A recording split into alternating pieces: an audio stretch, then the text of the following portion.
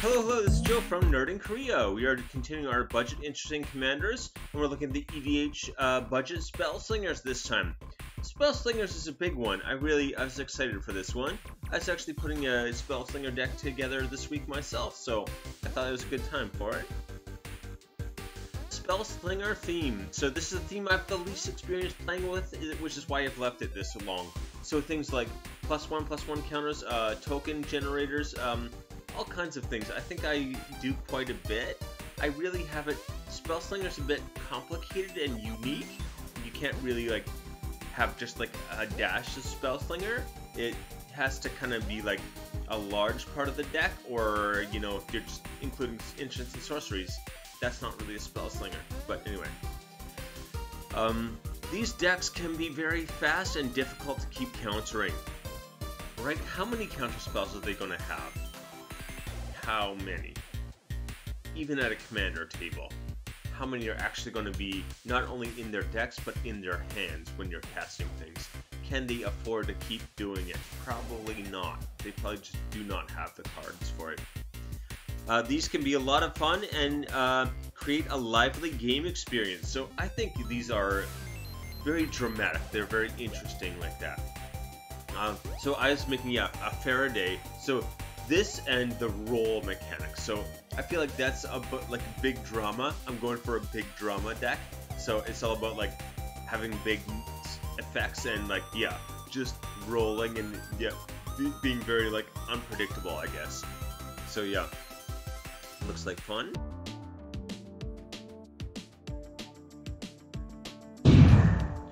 Hit like and subscribe. It does make such a big difference, and I know every YouTuber says to do that, but you know what?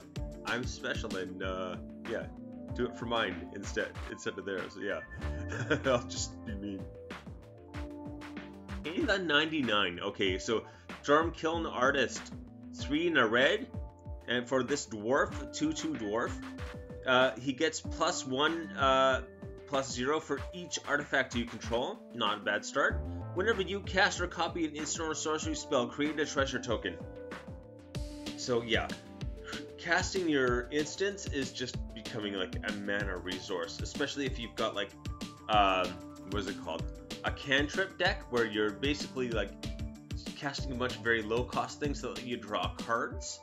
You're going to be able to basically keep creating treasures as fast as you're using mana, so you can technically or technically probably like go through your whole deck. Or maybe that's an exaggeration or, you know, kind of an optimal idea, but it's possible. Anyway, 93 cents. Alright, now we got two otters. Hey! Yeah, Bloomburrow was very Spellslinger centric, so we've got quite a bit of that in this list, which I'm always happy to see. Because I love me some otters. Yes, I do.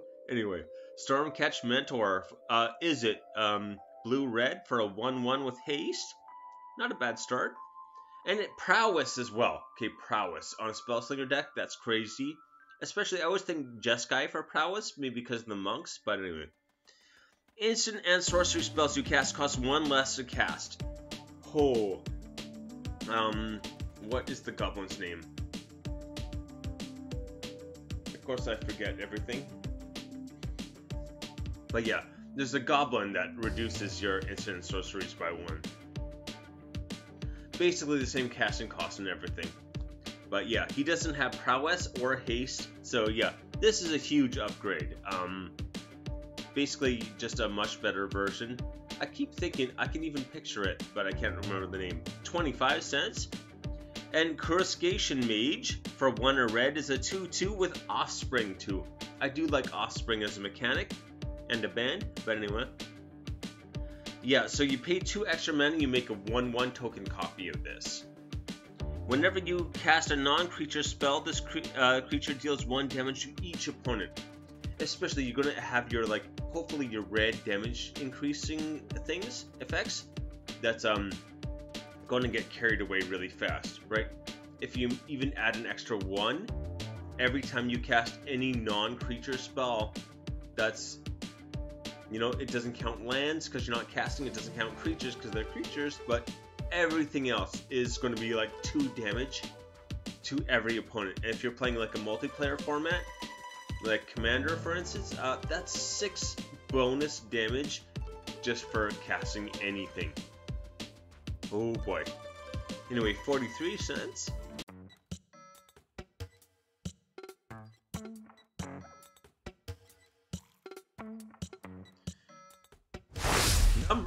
Number 5. Niv Paran? Paran? I don't know how to say that word, I think. 3 blue, 3 red. Is it? But a very annoying casting cost is what I'd say. So that's a downside right there. But he's a 5-5 player, and the spell can't be countered. These are all very good things. He's in 14,277 decks. I don't think I've covered any commander that was in that many decks. This is, again, this is an older card that helps a lot, but it that's a monster of a number right there. Oh my.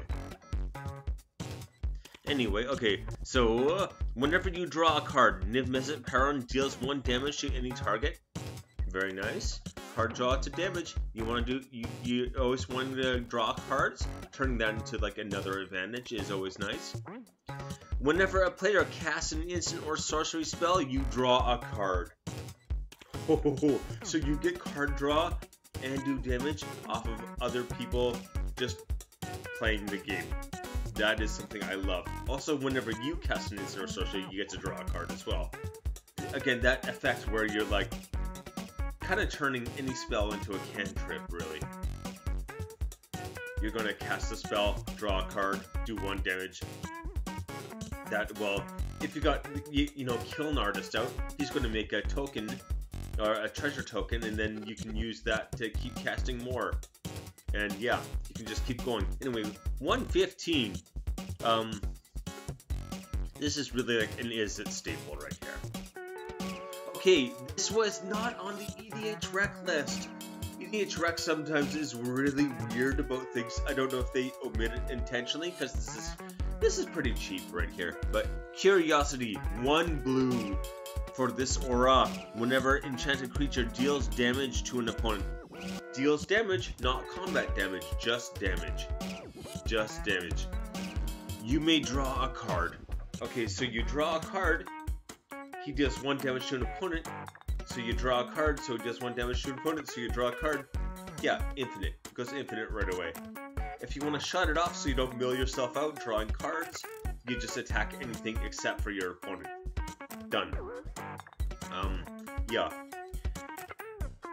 again cheap but like fun at the same time I think. I actually have this combo in my Farideh deck. So anyway, 19 cents. Niv Mizzet, the Firemind. So another one of himself. Two, a blue, blue, red, red. I think a much more reasonable casting cost, first of all. He's only a 4-4 flyer, though, instead of a 5-5, and whenever you draw a card, he deals 1 damage to any target. So once again, just automatically dealing 1 damage, and if you have both of them out, 2 damage to a target on every card draw. That makes that curiosity thing into like a game ender. If you have to, like, if you're in Commander and you've got to, like, get through 120 opponent's life, you can't do that by drawing cards because you only have 99 cards in your library.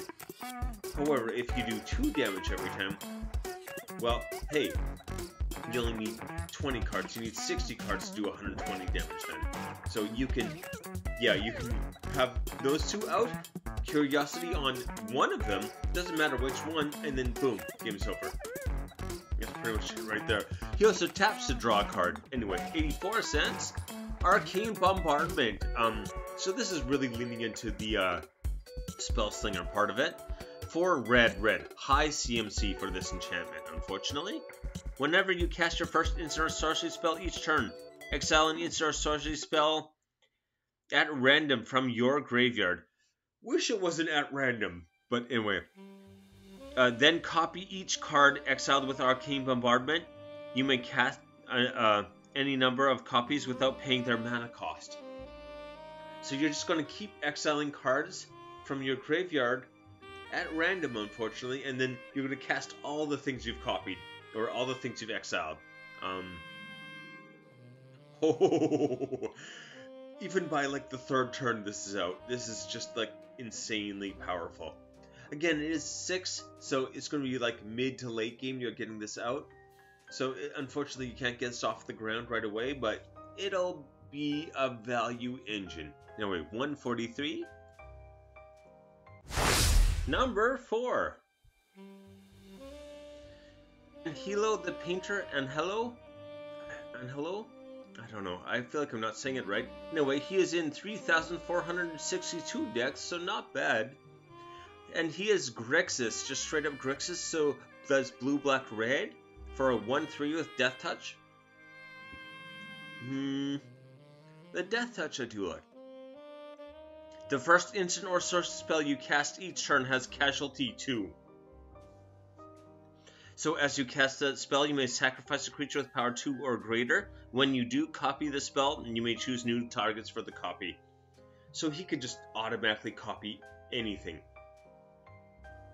You just have to have anything with 2 power to sack, and you can just keep doing it. So if you got like 2-2 zombies, or anything you can make into a 2-2, or even just to have 2 power, um, boom, you're set.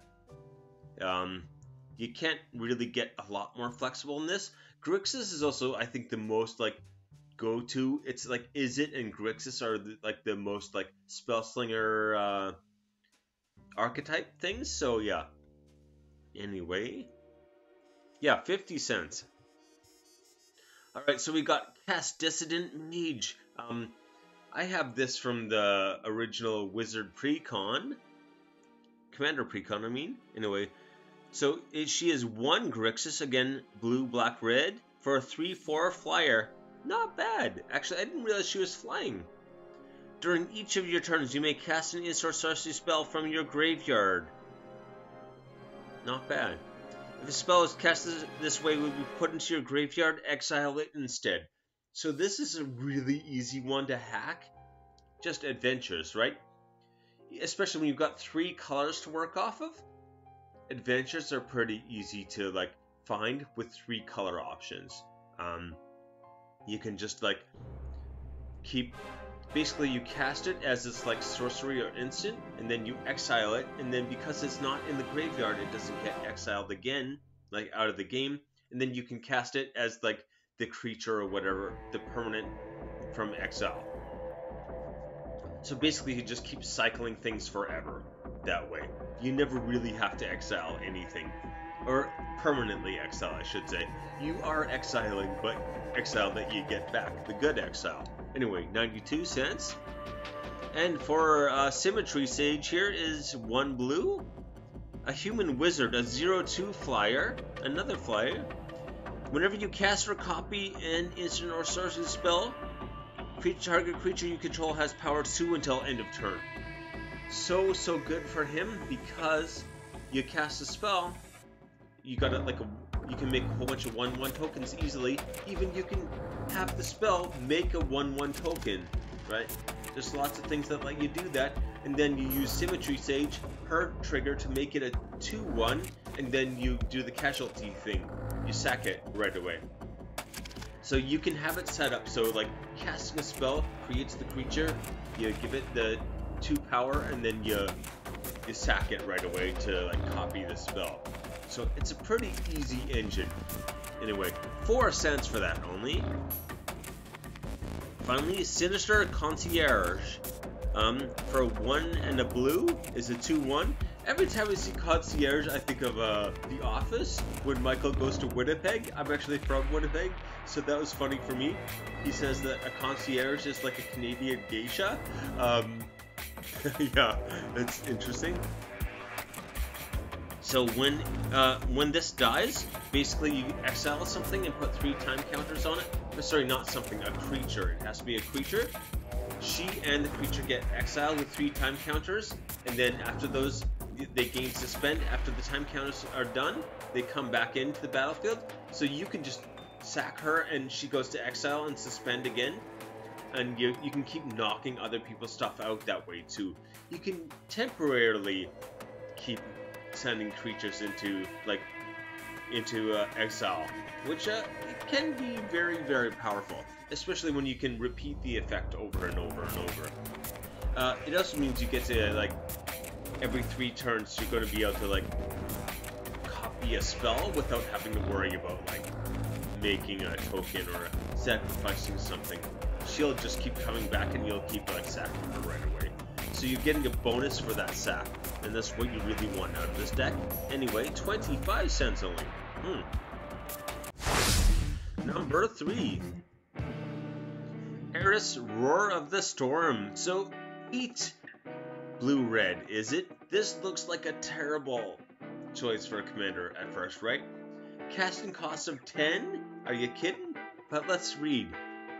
Anyway, he is a 4-4 flyer with prowess. Flyer and prowess is a nice combination for a spell slinger, that's for sure. This spell costs 2 less to cast for each different mana value among instants or sorceries in your graveyard.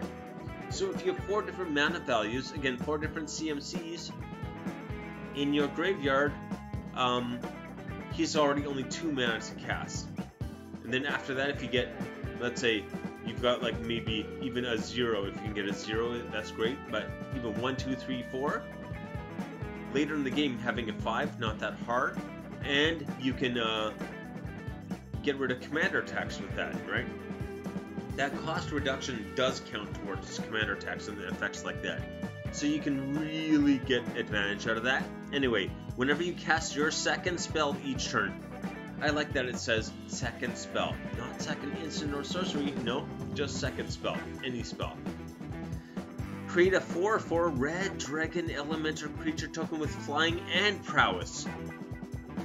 So he's a 4-4 flyer with prowess that makes 4-4 flyers with prowess.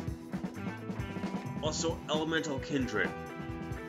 Elemental Kindred is very, very strong. Um, you can get a lot of like easy value out of that as well. Anyway, 99 cents.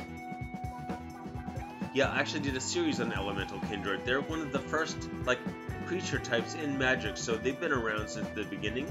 That means they have just a ridiculous number of options, especially with Spellslinger, the very, very high synergy.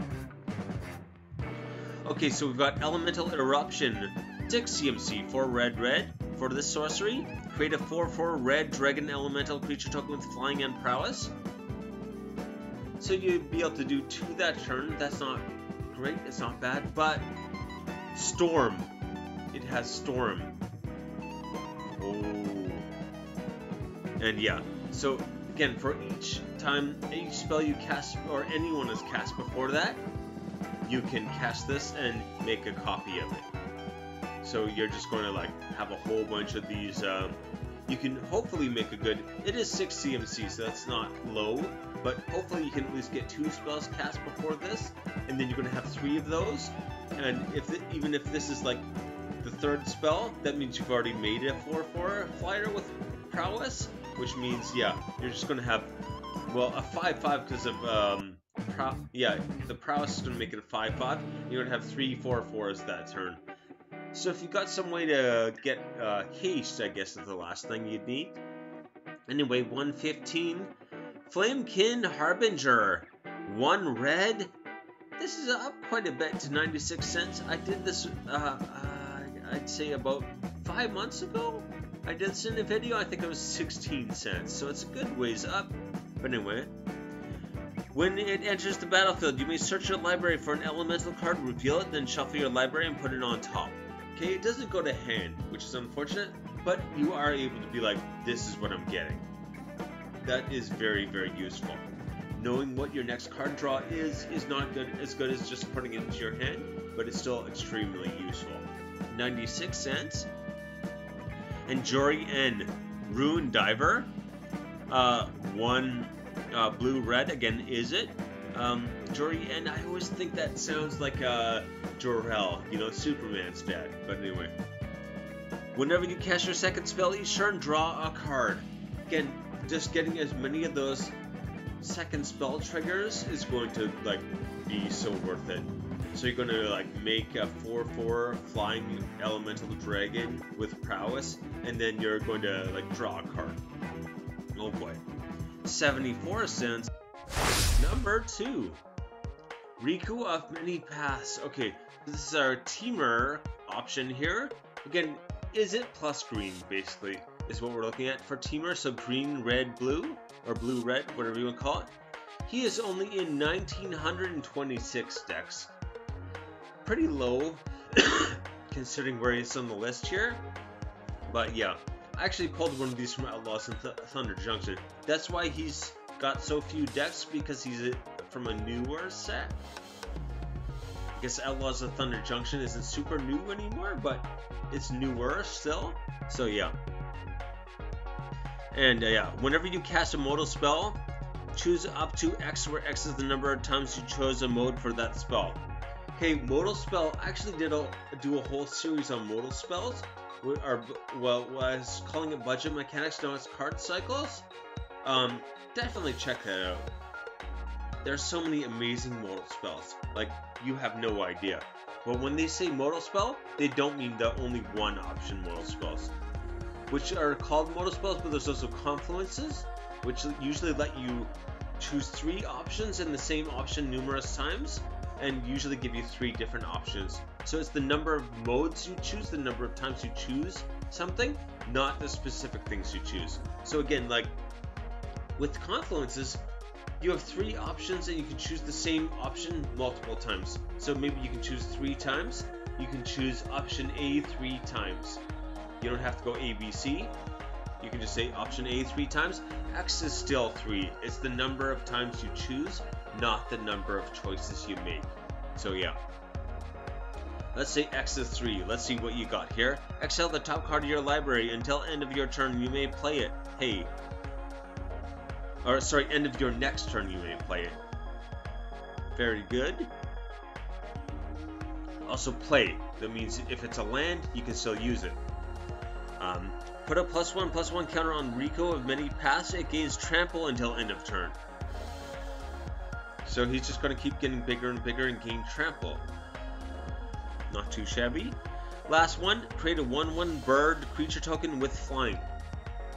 Sure. You know what?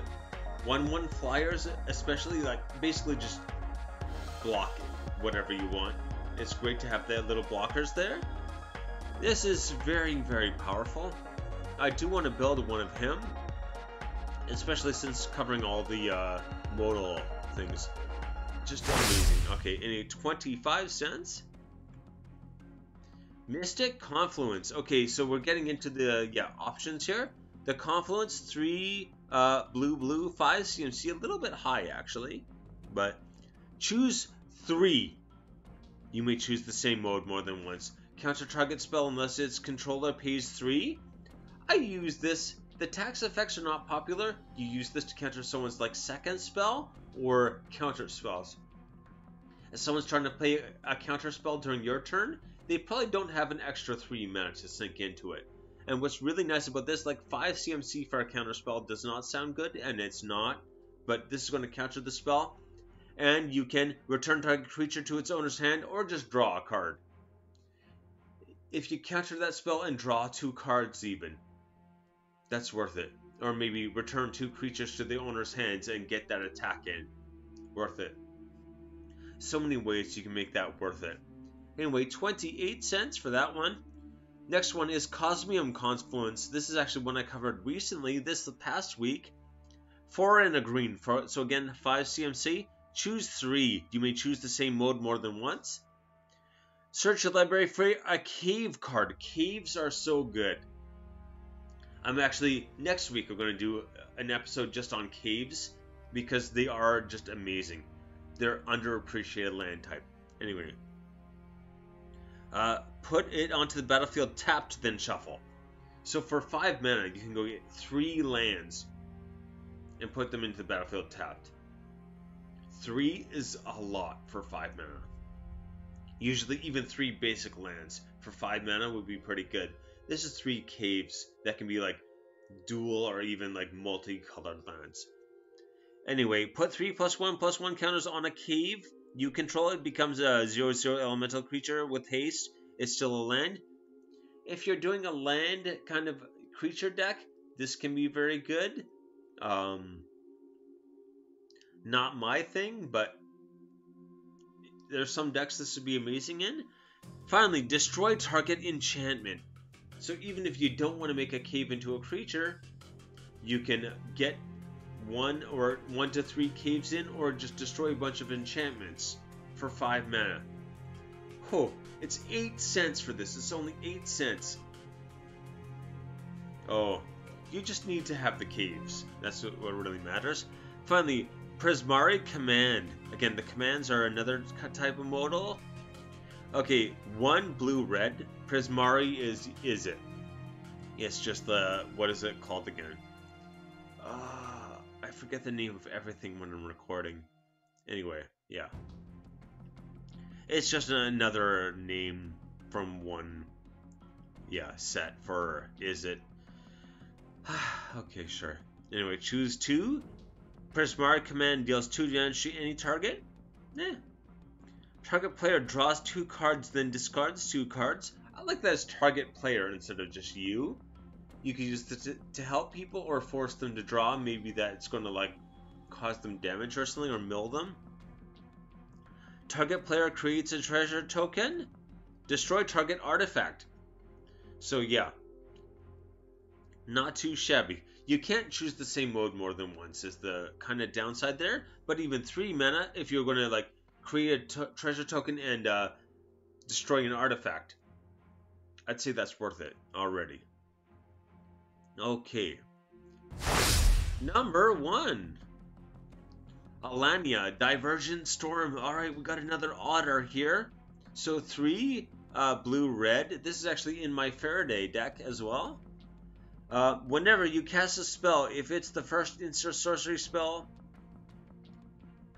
or first, oh, sorry, first instance, first sorcery, or first otter spell you cast this turn, you can have an opponent draw a card, and then you copy the spell.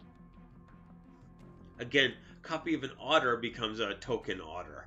Um, so you can. This is basically the gift mechanic. Gift a card to copy. So it's kind of she's making like everything into like a gift mechanic. Not everything, I guess. Sorceries, instants, and otters. So potentially all of your creatures and your sorceries and instants into like a gift mechanic thing. Um, very strong in any deck, but like if you're going otter kindred, it's insane. You're just gonna like go off with that. As I said uh, before, otters have very very high synergy with spell slingers. So yeah, that would be very good. Um, 75 cents?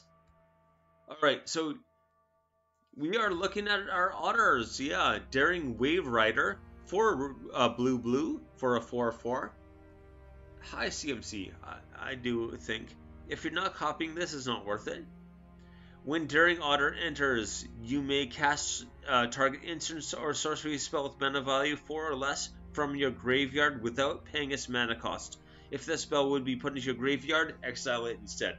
Once again, if you've got some uh, adventures, cast the adventure. It goes into exile as like, then you can just recast it. And potentially, if you can flicker this or something, you can just keep like doing that in a big circle over and over and over. Uh, so yeah, well worth it, especially if you're making a copy of it you let someone else draw, and then you're casting two things with up to four mana value or four CMC from your graveyard. Um, for six mana, you're getting a four-four and two spells. Uh, that's some value. 17 cents. Pearl of Wisdom, two in a blue. So it costs one less to cast if you control an otter. Draw two cards. For two mana, drawing two cards is amazing. But it's a sorcery. So with this, you're going to make give someone else a card draw, make a copy, and draw four cards for two mana. That's nuts. That's just nuts. Oh boy. 12 cents? Kindlespark Duo. Two in a red. Tap whenever uh, it deals one damage to target opponent. Nah, okay. Damage increaser, right? Uh, whenever you cast a non-creature spell and tap Kindlespark Duo. Spellslinger decks, you're going to be casting non-creature spells constantly, right? So that's just extra damage you're throwing at whoever you want every turn. And with some kind of like damage increaser, that's going to be a lot. That's basically like casting shock every time you cast any other non-creature spell. It's uh, it adds up very quickly. That's for sure. Anyway, 11 cents.